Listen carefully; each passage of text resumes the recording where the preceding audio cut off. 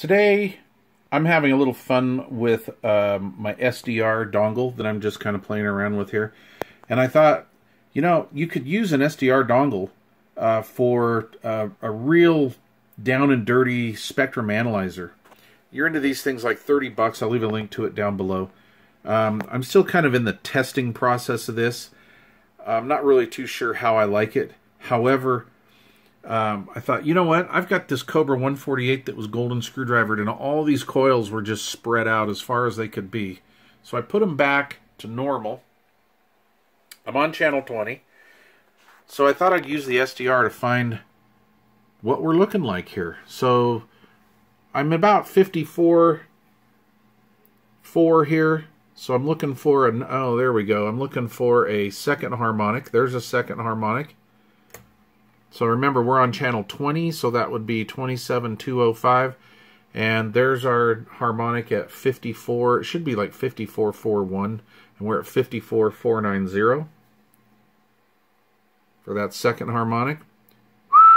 I am modulating it. If you look down here,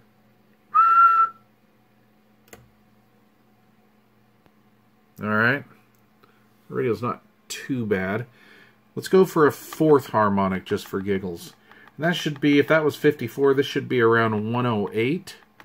And let's just see if we see anything. Um, come on. I guess I could have had all this preset, but I just kind of did this video. I'm doing this video on the fly. So we're going to be about 108.8. There it is. And, uh, yeah, little modulation there. All right. And then, of course, you could probably go to a fifth and, and all that kind of stuff. And I think that's how... There was a big strapper up in... Uh, I'm not going to say his handle, but it had something to do with lips. And uh, big strapper up in Alaska. And he got nailed um, by the federales because he was coming over some air traffic control frequencies in New York City.